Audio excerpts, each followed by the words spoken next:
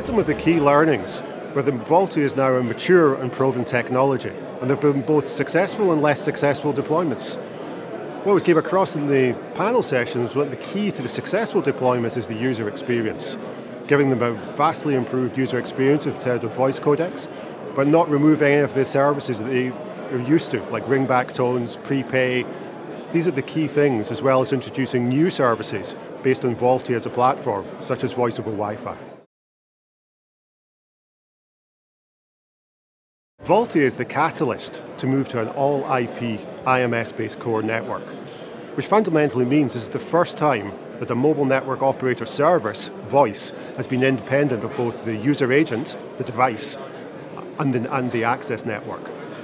This means that VoLTE is an enabler for the next generation of services, not just voice calling, but the move to enable the operator to move to things like contextualized communication, multi-device support, support SIM-less devices and new paradigms enabled by WebRTC and other technologies.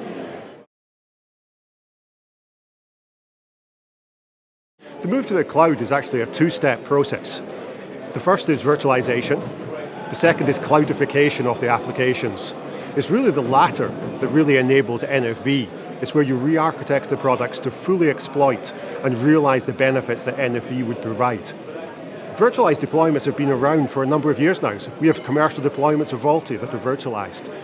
The next step is NFV, cloudification, and fully automated networks enabled by MANO.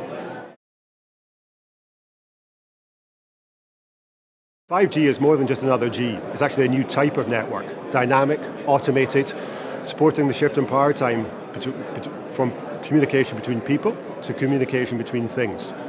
This actually means a new way of architecting their network based on NFV technology, but more significantly, microservices.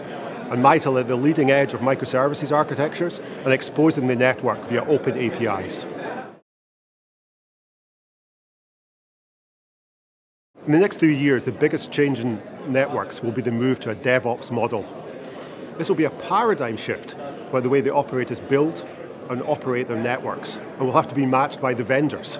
And this is all in support of continuous development, continuous innovation within the networks.